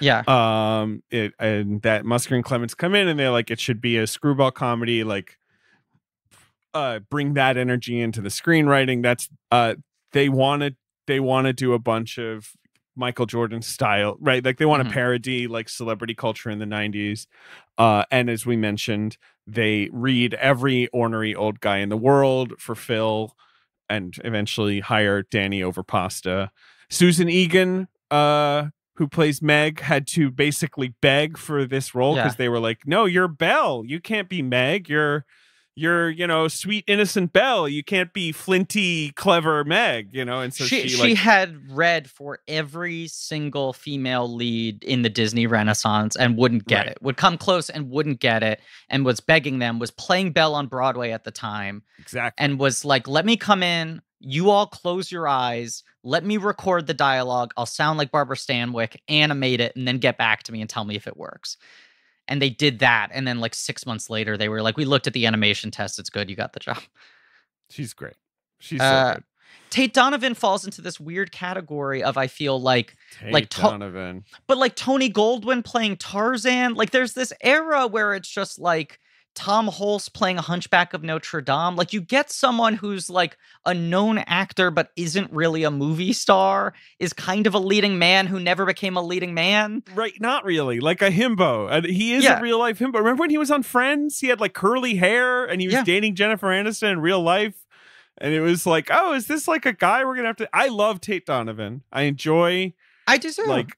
Gr- I, but like I enjoy Dad Tate Donovan, right? Like I enjoy the OC. and- OC and. Tate Donovan is where Yeah. we get peak Tate. Yeah. I Tate agree. really grows into He's it. a little lost in the '90s. I, I like Kenny Lonergan, Tate Donovan on stage. Mhm. Uh, but as a kid who was so movie obsessed, and when I would see a movie I loved as much as Hercules, and, and then ask my parents five thousand questions because I wanted to know everything about it, I'd be like, "Who is Tate Donovan?" And they'd be like, "He's the star of Love Potion Number Nine. He sure is. like so often with these movies, if I liked a film and then I'd be like, Danny DeVito's funny. I gotta watch Danny DeVito movies. You know, I'd be like, this is my new Right. favorite actor, this voice. You really And they do? were- you you, I- you find you find some people you like this way. You do. But Tate Donovan, they were like, there's no real path for you to go down as a Tate Donovan fan. As an eight year old Tate Donovan fan, there's Yeah, not like, really Sorry. a syllabus we can hand you. Stick around. You know, in 15 years, this guy's going to be given great, you know, supporting role. Like he's going to play managers and club owners. It's going to be a lot of fun. He'll be on Damages for a long time. He'll be like the other guy on Damages. Remember when he just kind of clung on for dear life on Damages? Does no one want to talk to me about Damages? Yeah, that's that's you. That's some you territory, That's all David. me. But Damages, Okay. Glenn Close is my new best friend. Uh, I was in Montana. she li- famously lives there. And yes, we did hang out. oh, You did you did? really? Absolutely. Larry. There are 12 people in Montana. Like, yeah, we like truly ran into her in the corner. Wow. David is holding a is this a cardboard standee or is it a screener? It's a screener. I mean, if I had a cardboard standee of Hillbilly Elegy this fast, that would be impressive. I, I just want to make this very clear. David has his Zoom background on with the photo of like the the Titans on the, the vase. Titans. I love how they're animated. They're fun. But because of the way that Zoom virtual backgrounds work, where they're trying to identify what the background is and what your face is, the the DVD screener of Hillbilly Elegy David is holding up. It, it's cutting out the back. It looks like it's just Glenn. You're right. So, you're right. Right. So it just looked like David was holding up a cardboard standee of Glenn Close and Amy Adams in Hillbilly Elegy, which he What- had on his desk. Mama, did you talk about Hillbilly Elegy when you when you hung with? with Glenn? no, we were castmates in a virtual benefit of Angels in America. Love it. Uh, this summer, yes, Awesome. uh, she played Roy Cohn. I played Belize, um, and so we we we chuckled about being uh, castmates virtually, and yeah, and then um, yeah, we helped her move a, a chair. Uh, Uh, Larry, the side tangent here. Uh, you're you're an excellent on-camera actor as well, but you are like such a live performer. You're one of those people who it, it is so infectious to watch your energy on stage and how much you clearly feed off the energy of an audience and work with it and everything. And you've done like a bunch of these fundraiser things recently. I mean, you had like a small part in the Ratatouille TikTok musical yes, and you did the Angels in America thing. You've been doing a lot of these like live, uh, streamed, you know, web piecemeal kind of let's try to Mhm. do the equivalent of a show sort of thing. Like, how are you dealing with the uh, the absence of live performance right now? Like the the absence of that energy. I mean, it's like I'm just really biding my time, and Sure. I there's nothing to replace it. There's like nothing to do. It really is like I have to submit to. Yeah. It, it's the most vulnerable I've ever been in my life because I don't get to air out my dirty laundry, That's- either that's why as I subtext or literal yeah. text. right that's why i asked because it's just like if if you've had the honor of seeing you perform your thought is like oh this guy lives on the stage like this is just i i rarely have seen someone this at home getting this much power from this and and giving this much power uh And it would know, just be when- a lot. It would be a lot of moments together with people, like together with those Right. audience, together with like fellow artists, like, and that is like, it's just a true, true, true lack. And uh, I always say that like one of the deadliest things you can do in Corona is sing in a group because of the droplets. yes. Uh, Yeah. Like you can't Yeah. gather an audience, like, and so like it just has made me really like a true um movie reference avenger in terms Hey. of just like really wanting to have like a very very like pro quarantine lifestyle like trying to do as much as i can to encourage everyone to look out for the collective good so we can get back to that sooner Um, and then when we go back, I am so excited. There's a vaccine now, and I'm just gonna absolutely just like pump it. Like it's gonna be so fantastic to like have a room full of people like clapping again and laughing, and it's gonna be so phenomenal. Um, and but right now I'm my own grip. I'm my own sound person, and it fucking sucks. Yeah, it sucks. It sucks. A, it's like I'm not. I. I. No part of me ever wanted to be my own tech. And B, all the sort of half measure, like uh, uh sort of uh, facsimile, sort of of live performance shit, ends up just making me miss live performance more than if I wasn't doing anything. the amount of work that I've done with my skills so that I like strategically do not have to do tech. And Yeah. now, but again, it's very, very humbling, humbling time. And I, and fortunately, I feel like I'm getting better at the thing that we have to do now. Like, I have a ring light, like the most important element of all time. yeah. I have this microphone. Like it's I I and honestly, like for the TikTok ratatouille, like TikTok acting is different, babe. Like you Oh yeah. don't even don't look at the camera and don't pick an eye line. You look at yourself. That is weird. I didn't think about that, but that is crucial to TikToks. They're looking like over there. Did you watch the TikTok Ratatouille, David? I did absolutely. So I'm I'm not gonna uh, drag anyone or praise anyone. I'll be as vague about this as possible. But it is very interesting watching that thing, Larry, and seeing the different choices people make with regards to eyeline, and some of them work much better than others. There's just like if you use the platform like to a certain degree, like you just understand like that certain and it could even be generational.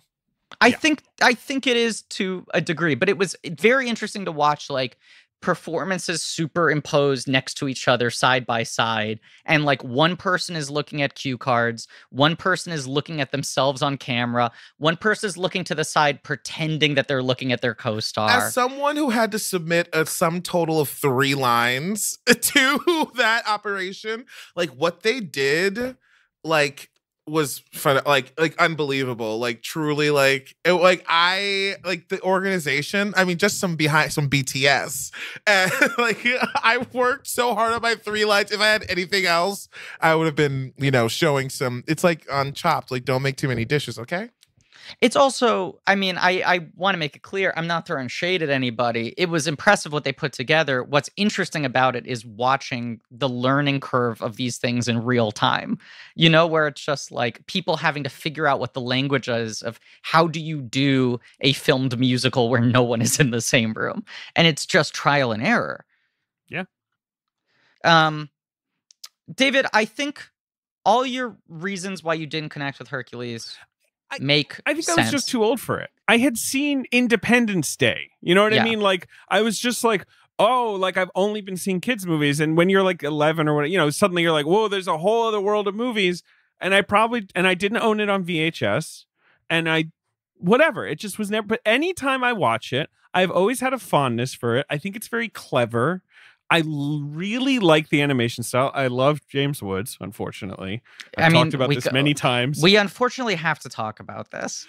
how he's one of my favorite actors and he's like the worst person in the world and i don't want to say much more because i don't want him to sue me No. but uh he's very funny in this and it's similar to like a robin williams thing where it's clearly a very ad-lib performance and the animation feels like it's trying to keep up with him Yes. and there's like just a dynamism to that that's really cool and and it's I- it's also yeah. trafficking so much in his persona as a movie star. That's the other thing with Robin Williams. The analogy is that it's like it's not just oh James Woods happens to be the voice of Hades. It's that this movie's characterization of Hades is he's a James Woods character. yeah yes it, weird to think that that was once a thing though that where it was like yeah, yeah, James Wood, he'll he'll give you a great character. You know what I mean?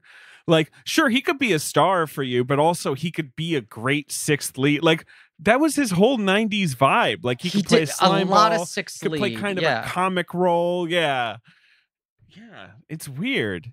Ugh, I Do you know talking the- the- about it? He's like, Of course. like how incredible is he in the Virgin Suicides? Like a movie you forget he's in. Like Yeah. just a devastating performance. Like the fuck happened to this guy? Yeah, he he was an incredibly good actor and is an incredibly bad person. yeah. Uh, it's it's just fascinating, but it's like I, I don't know if I mean he's been shitty for so long that whenever I last rewatched this movie, I'm sure my opinion of James Woods had already been totally tainted. But now it's so beyond the pale. And watching it, I was like, this character is so good. This performance is so good. The just the animation acting on Hades is so impressive. Like his weird fingers. The design how- is cute. The design is so fun. It's so mm, like magical, but he looks Yeah. menacing. He looks terribly evil, but also slick. Yeah, I mean, there's just the the the character animation in this movie is so fluid, while the designs are so detailed and complex. Uh, it, it, I really think this film is is uh, kind of maybe the most impressive of this era, just as a technical achievement. Um, Huh. but like I was telling you, we were talking off mic, David, about how I had rewatched uh, A Bug's Life recently, uh, a movie I had not seen in a couple Yes. years. Another movie And- with a canceled villain. Yes. Right. And I was a little bit worried about watching A Bug's Life again because of the Kevin Spacey thing. And I was like, am I just not going to be able to get over it? And the thing is, he's very good in that movie playing a fucking horrific monstrous creature who is very similar to Kevin Spacey in real life. And and the character is not a Kevin Spacey archetype in the same way. It's just Kevin Spacey providing the voice of someone who's awful. So you're able to sort of transfer your contempt of the guy over to your contempt of this villain. But then Hercules gets into this zone of like, he almost looks like James Woods, you know? Yeah. No, it's true. He does. I mean, sort of. I. He also has blue flame hair, but it's true. He does. And, but it's I like the animation is so like the way he lights up when he's angry Yeah. is so clever as well. And I don't Do you know do you know the story about the casting on this?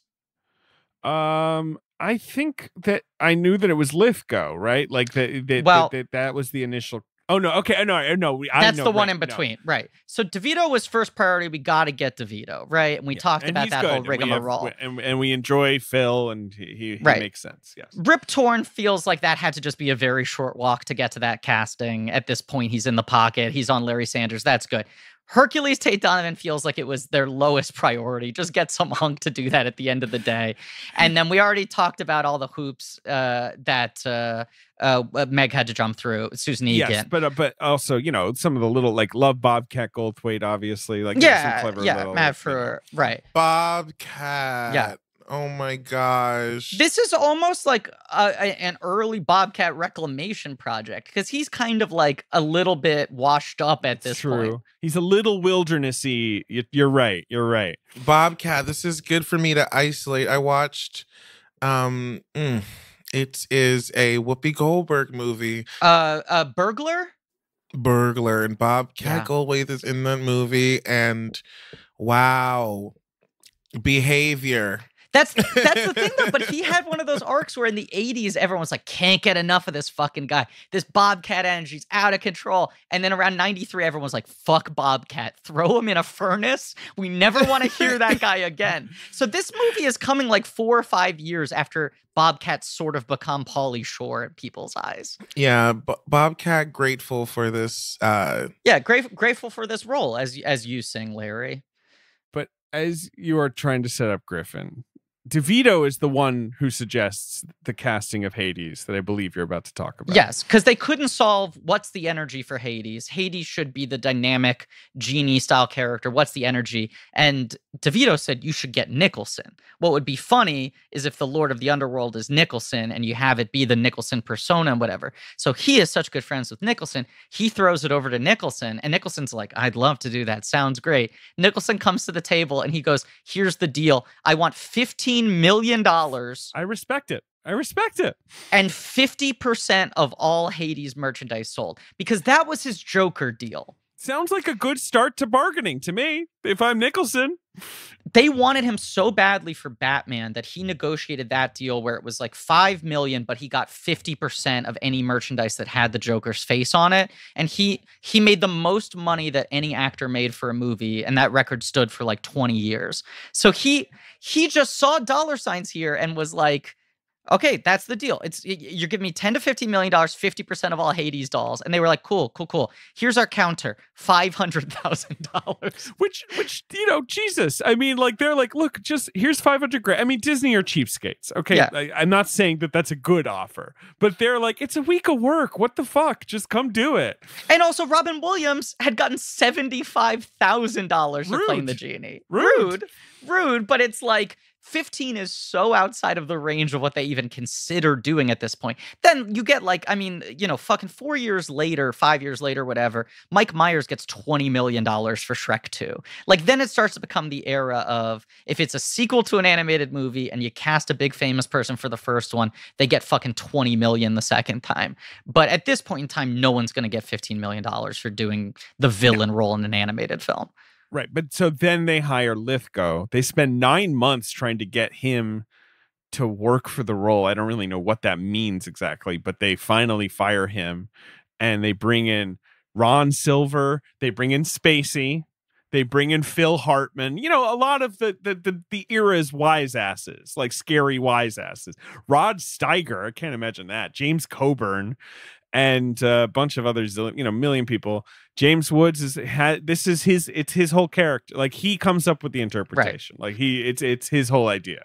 I mean, when you say you don't understand what they meant by uh, Lithgow not working, I think it's just they didn't fucking know what the character was. Right. I and mean, didn't and have it- a take. right. And and. Woods came in and just came up with this whole thing and gifted this movie with his toxic energy and for once found a positive receptacle for it rather than uh, Twitter. Uh, I mean, have we? We've. I feel like we've talked about everything. What? What? are- What are we missing here? I mean, we, we should go through the basic plot of it. I feel like not that. I mean, we've talked about the the broad strokes, but you have, as Larry said, this sort of like. I mean, this is another reason why this movie's in my wheelhouse, and it's it just a thing I've liked ever since I was a kid. But just fucking bathos humor always gets to me. Anything where you inflate shit with pomp and circumstance and then deflate it immediately, cut it down, and like slap it down with some silly shit. I also just like that this movie has like full on Looney Tunes. Like if Hercules sh- shakes someone's hand, then their fingers are crushed and red and pulsating. It has so many like boing, like weird sound effects and shit. Uh, but but this movie has so much world building to do at the beginning because like Greek mythology is so much more convoluted than most of the worlds that they've set these films in. You have to set up like the rule of the gods, Hercules coming down, Hades ruling the underworld, half of his uh, immortality getting drained. You know, like there there's a lot of sort of larger shit to set up, which the film does very quickly and does mostly through the the Greek chorus, the goddesses, which is uh, Yeah, so smart. it's the the use of them is brilliant. The right the the plotting, uh, whatever. Like yeah, they have to sort of get around. So he's just the son of gods, and he he almost drinks the mortality juice, but not all of it. That that's that's all fine. I, I this is not a movie where the plot matters to me as much. Like the the final you know showdown with Hades is not maybe as operatic, you know, as as oh that's still pretty good when he dives. Yeah, the- thank you. Like, but you know, you know, yeah, it, it's good, but like I I'm more like this movie for the the characterization of Meg, the weird humor, the like you know the cleverness of uh the lyrics, all that stuff. but I also think uh, you know Hercules as a character. I mean, there were like two fucking recent Hercules movies that no one even remembers existing. It's even, true. even though one of them starred the biggest movie star. The Rock. but I think the character eh, Hercules, eh, despite a lot of uh, uh, himbos wanting to play the role because of how it looks, I think it it often gets foiled by how kind of inherently boring the character is because he's just too perfect. Like he's just too kind of uh, strong in every single sense, and I do, I do genuinely like. I'm just a sucker for this shit, but I just it works for me to make Hercules this like oh, awkward, gangly, tripping over himself, knocking over a fucking coliseum. Like I like that. Yeah. It doesn't know how to handle his power shit. And it means that once Phil does train him and he does become a fucking hero, he's still got that insecure dude energy, which I like. You know, it's like he still carries with him. Yeah, he's hot. He's like hot and sweet because he's kind, but his body's good. And uh yeah, I feel like TD's like not wanting to train him. We love that. Just Love like, it. No. Good, good opening act arc. Good, Yes. good, good tension to It's lead like, off with. No, yeah. I don't want to do this. Also, just a little shout out to the Fates when she holds the eyeball. Oh, like those three crones. We just love crone work. the fates the whole rule. thing. Great crone work in this movie. I don't know who the crone wrangler was, but it must have been one of the best. Amazing. They were legitimately scary. the fucking world building this movie has to do. It has to set up that shit with the fates and the future, the omen, the strings of life, the well of souls, all that shit before Hercules even is born.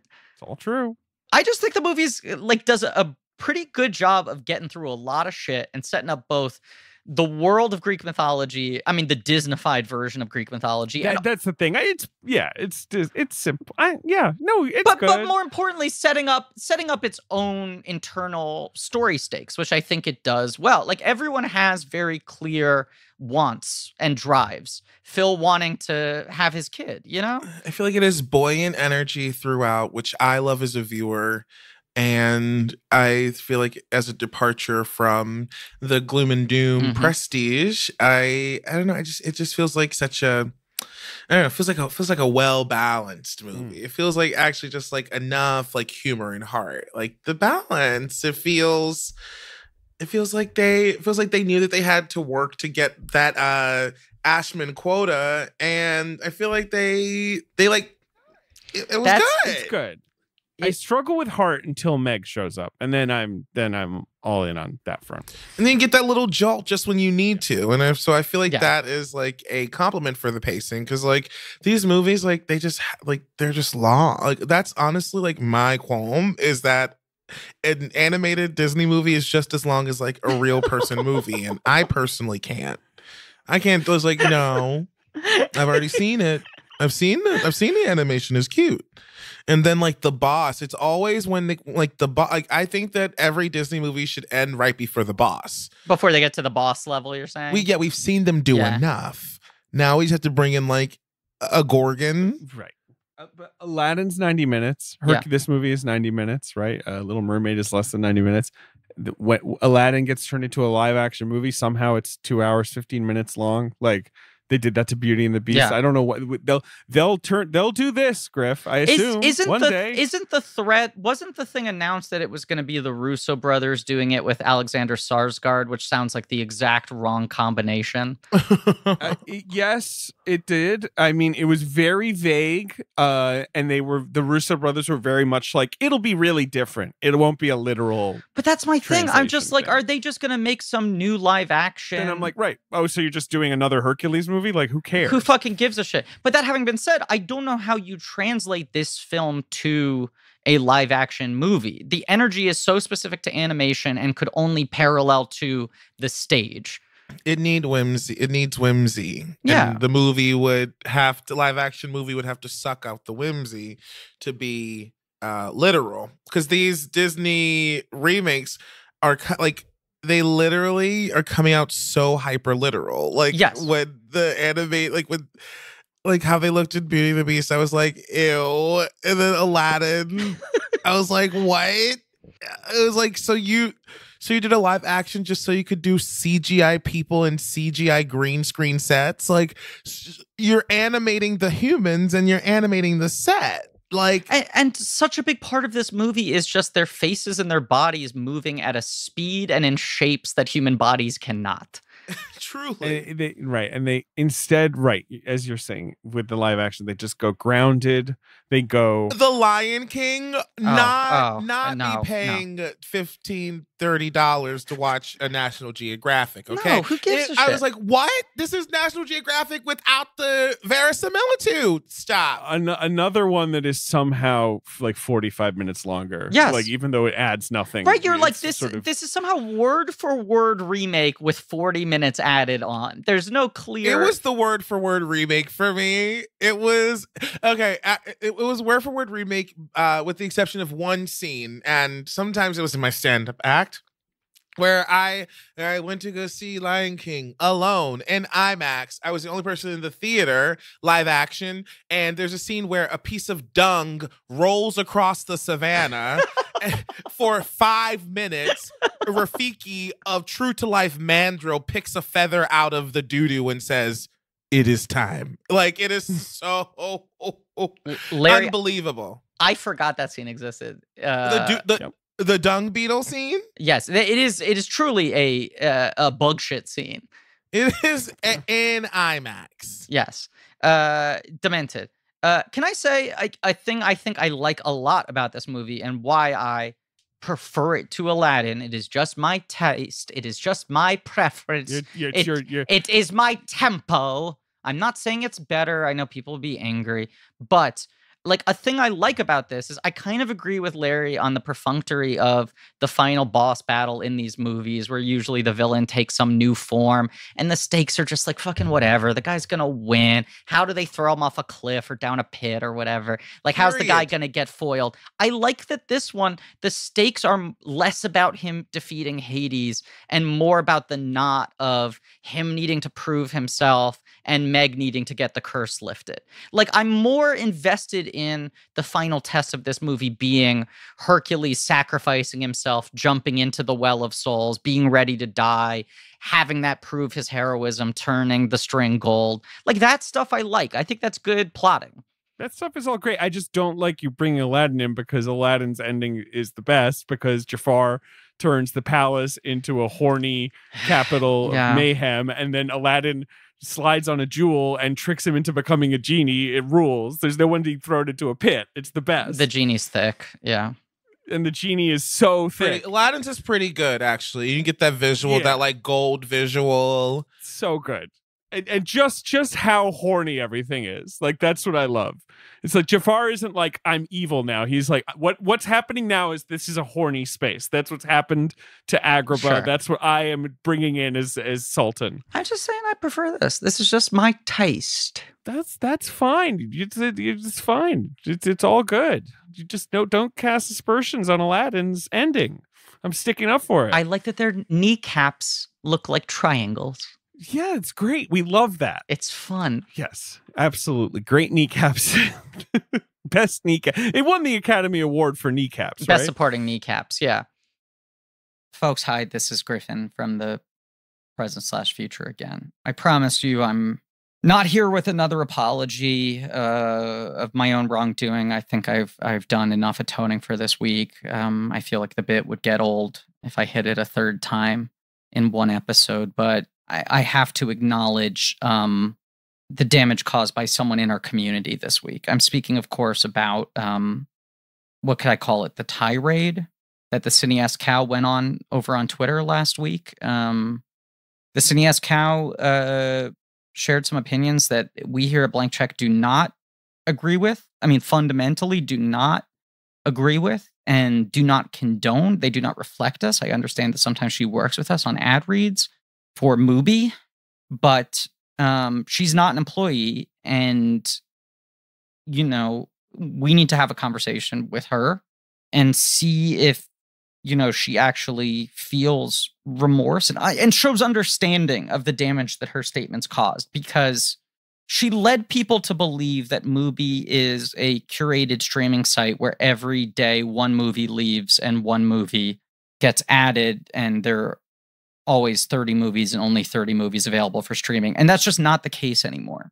It's not. Society has changed. We've moved on. That is not a reflection of the present because Mubi has evolved. Uh, every day, Mubi still premieres a new film, whether it's a timeless classic, a cult favorite, or an acclaimed masterpiece it's you know a movie you've been dying to see maybe or one you've never heard of before there's always something new to discover and and with Mubi each and every film is hand selected listen yes cal was right about that not to make it sound like i'm equivocating for her but there is a benefit to that i mean it means you'll never spend time looking for something great to watch or or even dare i say it most horrifically spending more time looking for something great to watch than you would actually spend watching something great. It's it's like its own personal film festival, streaming anytime, anywhere. But the, but the key point here is that Mubi has changed to a new format. They have a library. There's a larger, more evergreen selection of titles that are staying up for a longer amount of time. So you're not on the clock with Mubi anymore. And I I regret that the cineast cow misrepresented the situation, made people feel that pressure and that doubt. I hope this can be a moment of healing and reflection for the cineast cow. Um, you know, we would love to welcome her back if we felt like she actually had an understanding of the damage that she did. And as a sort of mea culpa to our listeners, I'd like to um, give them the opportunity to try Mubi free for 30 days at mubi.com slash check. That's M-U-B-I dot com slash check for a whole month of great cinema for free. It's got hundreds of great films that have been handpicked by Mubi's curators, timeless classics, award winning masterpieces, festival, fresh gems. Discover the best of cinema streaming anytime, anywhere. And um, I hope that's something we can all come together on and use this as a learning moment to find the points on which we can all agree and unify around because we need each other these days. That's mubi.com slash check for a whole month of great cinema for free. Okay, back to the show. I'm trying to think if there are other things we should talk about in this film. We hit all the songs that I like. I I don't I don't like, and it, it- this movie lacks a a sort of boring ballad. Like I like uh everything here. Like I you know I, I there's there's not like a sort of plotting number. The boring song is I Can Go the Distance, which is the I That's Want fine. song, and that's a better place to put the boring And it's song. early. Yeah, exactly. Right. You know, it's moving it's moving the plot, so that's okay. It's actually a good song. It's just, I argue, a key or two too low. I believe because in the movie, uh, I will find my way. I can go the distance. And then Michael Bolton is actually, I will find my way. I can go the distance. it's so good. Because in the movie ends right where I belong. That's not rousing. Not after No. you've just heard Lillias White and LaChanze's in three part harmony. And find where I belong. You want that, you know what I mean? And you just put the orchestra behind that. Did you know that Ricky Martin did a Spanish language version of Go the Distance? I did not, but also can fucking Larry play Hercules in the Disney remake? That was no, just, I mean, that was just gonna the- be amazing. Tag him in. That was the Jelani's gonna be fucking amazing. audition. I like, like, obviously, like growing up overweight. I was like, I am the Hunchback, like actually horrified to internalize. but then, of course, they cast the Hunchback as like, you know, he's like all about being like conventionally unattractive, and then they have uh muscle twinks play him on Sure, stage, and it's like, sure. okay, so uh, you like make it like like it was like so really you gotta just have a, like you know a little bit of curvature and hit the B flat, and y'all choose him. Larry, uh, you and I were tweeting about this some months back, but our our shared frustration at the uh, casting too many hunks as Seymour Krelborn. See, Mhm. it just is it. So it's because they keep moving the line.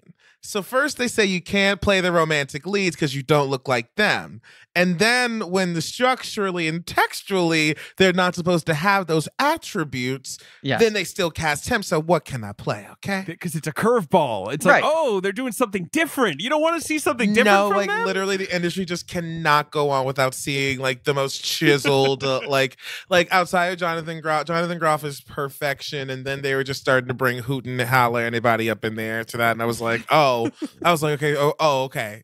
All right. Wow. Wow. Like now that I was like gunning to be Seymour. but you, know, should be the- Seymour. I want to see you fucking play Seymour. It's Taron Egerton. Like this is a Seymour. I mean, I know that's what I'm saying, but I when when fucking theaters reopen, I want you playing Seymour off Broadway. You should have a fucking run. Oh my gosh. Honestly, I do love Seymour uh so much. It, uh, Little Shop was my uh it was my senior year show at high school and my uh vindictive director he cast me in the ensemble because I did not want to play the plant. I was like I'm not going to just be backstage hooting and hollering the soul my Yeah. my senior year. I want to play the lead. I like I've like in my soul, I feel much more close to someone who's like being overlooked and pining for love than I do for being a man eating like like bloodthirsty like monster. Like they literally he was like Literally you play the monster. monster or you skip snip, which is like which is if you know the musical, it's one Yeah. third, it's one fifth of a role that like an actor normally plays. yes. So that's my like little shop trauma. I will be good as Seymour. I, I admit I would You'd be, good as you'd be Seymour. good as Seymour. You'd be good as Seymour. I want to see it. It's also just frustrating me. That's my favorite musical, and now it's just it feels like every time they're like, "Can you believe the transformation?" This guy somehow hid his pecs long enough to play Seymour. Jake Gyllenhaal. He, he d- somehow fit these glasses on his face. I don't know how he did it. Gyllenhaal remained with bangs. what it says about like inner beauty is like so weird. Yes. Like it's like it's like I don't know. Honestly, it feels toxic. Of like it makes it like weird. Like she should be with someone who was like energetically like matching her where like he has this like really inner like big inner thing but then like the world sees him with less value and like she like is very coveted for how she looks but no one is looking at her inside If Seymour looks like Taron Egerton, then Audrey has already fucked Seymour, right? like that's the thing like it like it ruins the poetry of the connection and uh yeah i just feel like it's dramaturgically unsound and honestly it's like it's it, it- it's vile but I, I agree. Hashtag Larry for Seymour. I love it. um but yeah the music so uh, so there are some really amazing vocal moments and like i can't I, my voice is bad right now it's truly tired It's- i can't do it but like it's when Roz Ryan in uh the second muse breakdown he had a plan to shake things up and that's the gospel! The way she opens the trap. Like these are the vocals are insane. And that's the gospel! You get like four big like jump rope sign waves of shake. Truth! It's so Larry, good. how dare you share that bad voice on this podcast? We're gonna have to. Cu- I'm sorry. We're gonna have We're to gonna have to cut cut that that out. Everyone is turning it down. They're like, "How? Ouch!" I. It's just so good. And "A Star Is Born" is actually like one of the best songs. It just you just have to like wait till the end. Like it's so good. I, I just I I like the whole thing. I just think this movie is a whole lot of fun and a lot of it is probably my contrarian nature that I like that it's the movie that's kind of thumbing its nose at everything that Disney had only had success doing up until this point. Um but I just think it's it's a movie where like uh I don't know, it it is it is free of self-seriousness in a way that gives it uh, some more emotional potency in other areas because it is not treating itself as epic. I think it's the only Disney movie where uh where a black woman stays in her human form for the entire time Very true. or maybe even black persons like say like there's like not even i guess they they turn into stone for like they're in like a part of the vase but they're always in human Yeah, silhouette I was gonna say that's more like they're depicted in different art forms, but they Yeah, are always yeah, but they, retaining like, their own definitely bodies. human. That was Yes. huge for me. I think it's why it absolutely stands out to me and i like i like i just feel like oh and this is for another tangent for susan egan fans there's a show on disney plus it's called encore and it's hosted by kristen bell but don't worry she's not in it a lot. And so basically she introduces a group of high of like high school alums who go back to their literal high school to do their like high school play and there's an episode where they do Beauty and the Beast and Susan Egan, who play Belle on Broadway, and also Meg and Hercules voiceover. She uh she does like a side coaching of an actress as Belle, singing the song Home, and it's amazing. it's like you will cry. So Susan Egan fans, Disney Encore uh and Disney Plus Encore. I will watch that. Um, uh, I I just think like uh, the personal preference thing, but but like the, Phil getting the that's Phil's boy moment at the end of the movie really kind of gets to me. Hmm. I I just think that's such a nice little quiet, understated little arc they give him. Um, without without drawing it out too much. Uh, I want to share because I, I found a, a larger sort of explanation of, of the marketing blitz I was remembering. They did a thing for five months when this movie was coming out, starting in February before it came out in the summer, called Disney's Hercules Mega Mall Tour. They went to 20 malls and essentially built a theme park inside each mall. They had 11 attractions, a multimedia stage show, a carousel theme to Baby Pegasus, a carnival with Hercules booths, and an animation workshop where they sent animators mall to mall to instruct kids how to draw. Then they did a Hercules parade in Times Square and aired it live on the Disney Channel in the middle of the summer like it was the Macy's parade with Lauren Hutton, Harvey Keitel, Andy Garcia, Barbara Walters, Michael Bolton, Marilu Henner, and Olympic athletes, which is a real potpourri of people who exist. Uh, Ed Koch, who was, Hey, I guess, no longer president, publicly criticized the mayor. fact he that was never the I, am sorry, sorry, was no longer mayor. Publicly criticized the fact that Giuliani had handed over the city to Disney to that degree. It became like a huge thing. Uh, Yeah. A hundred members of the National Association of Broadcast Employees and Technicians used the occasion to strike for a new contract from DB- Disney ABC. Complained, I think the mayor gave away the city to Disneyland It was that moment. and 5,000 businesses and residents who felt unusually eerie upon being asked to dim their lights as the parade passed. At the end of the parade, there was a private party where they rented out all of Chelsea Piers and had Susan Egan singing songs live on the Hudson River with fireworks. This is the moment where everyone's like, fuck Disney.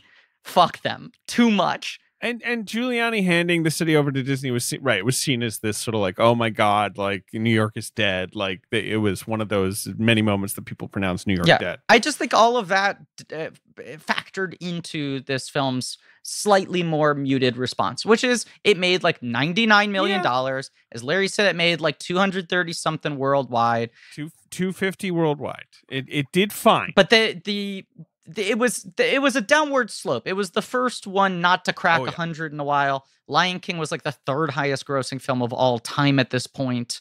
Uh, it was a drop off. It was, and I think it just didn't have as big a tail. Though they did, you know, they did a, a direct to video prequel, of course. They did an animated series, I believe.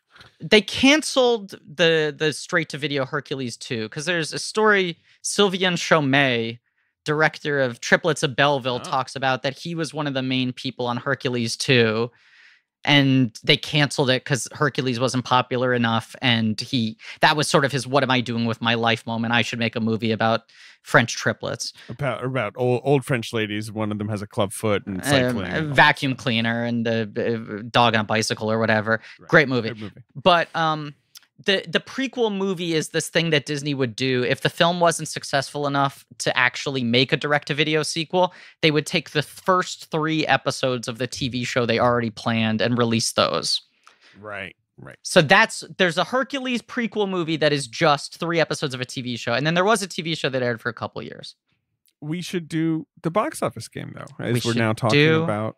the box office Um, game And once again, Griffin, I'm just checking with you, but I'm sure you agree. We should do the the wide Yes. weekend. right not, not the New Amsterdam theater Giuliani blesses Hercules gives him the key to the city weekend Uh, this is it's, it's so it's opening number two essentially. It's June 27th, 1997. Griffin. okay And It- it, opens at number two, uh-huh 21 million dollars. What what's your question? No, I was trying to think like big summer movies of 1997, but Men in Black is obviously July 4th. It's Big Willie weekend. Correct. Not not yet. Men in Black has not yet uh, come out. Uh, the Lost World Jurassic Park has just fallen out of the right. top Because that was like so- so- Memorial Day.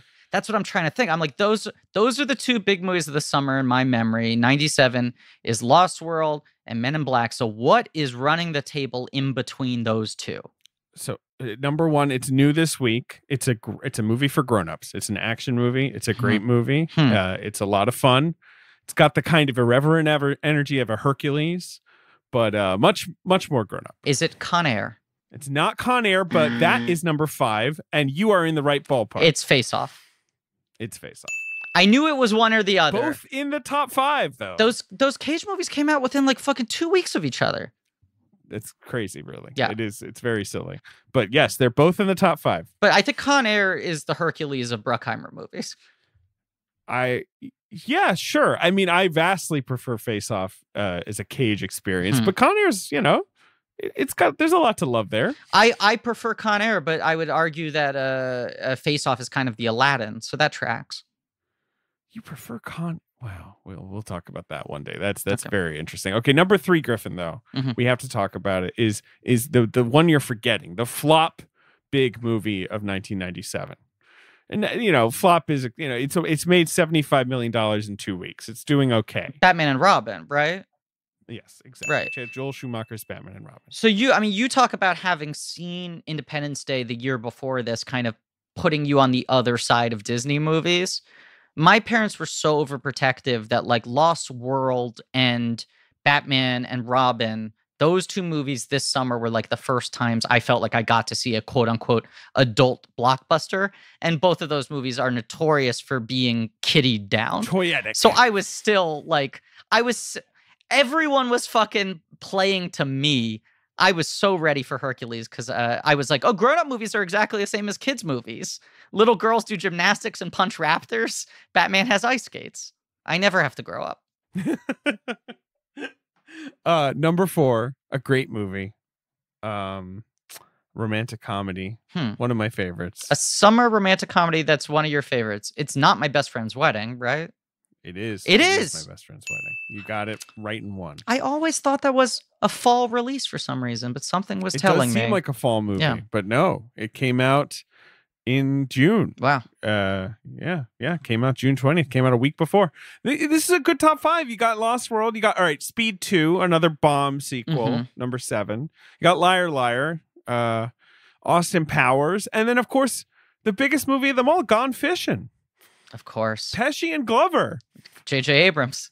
That's right. Uh, wait. So Austin Power. When does Austin Powers come out? Does it come out in April or May?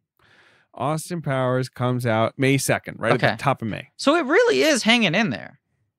It's it, it's hanging in there. I think that was part of why it got a sequel, right? Yeah. And had a good VHS run or whatever. But the right? It VHS, was, uh, yeah, it broke like every VHS record. But it's also impressive that it's still in the top ten almost two it- months later. yeah. Austin Powers. Ah, those were the days, Griffin. Uh, You'd yeah. watch TV, you'd see commercials for movies, you'd be excited to see the movie. I yeah, I mean, I miss I miss that. I also miss the thing that Austin Powers is so emblematic of, which is something accidentally becoming a franchise. Right. Like something that had no designs. It was not planned on a spreadsheet to have different revenue streams and to be able to be a four quadrant thing. It was some bizarre passion project from a guy who had kind of had a flop that then became a major franchise. It's Mike Myers, baby. Just like with Shrek. Yeah. See, when you It's make true. when you make it from the heart, it can blow up. You make it from the heart. Just like Love Guru. Oh. It never fails. As long as it comes from the heart, like the love guru, it never fails. and and you know the most famous movie to come from uh, two people's hearts, Which one? Treasure. Oh, Planet. Treasure Planet. Of course. Larry- And that's what's next on Blank Check. That's Thank you for setting us Check. up. What a perfect setup. Uh, Larry, thank you so much for being on the show. That was a perfect setup. It was a perfect setup. You're you're a prince and a king and a duke a prince and a king. and a lord. I don't know. How many different titles can I bestow upon you? the Duke of Hastings. I look Yeah. forward to your Bridgerton series. Uh, is there anything you want to plug? I know you always tell people to listen to Strange Loop on Spotify. yes, you can listen to me sing that score on Spotify. Uh, and yeah, you can follow me on uh, at Larry Owens Live wherever my uh, platforms are not deactivated. Uh, I understand if it is a thing you can not talk about, but is there any possibility of Strange Loop coming back on stage in some capacity on the other side of this? Absolutely, everyone, take your vaccines and social distance. Great. Uh, because that's what I want to see. Uh, Larry was fucking unbelievable in that show. He won the Drama Desk Award. The show won the Pulitzers. Incredible performance. Uh, and I hope people get to see it at large.